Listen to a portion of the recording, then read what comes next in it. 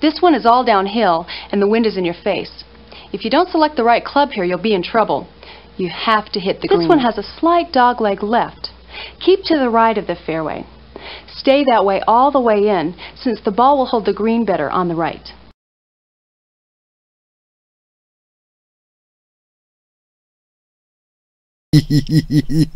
Be nice, man.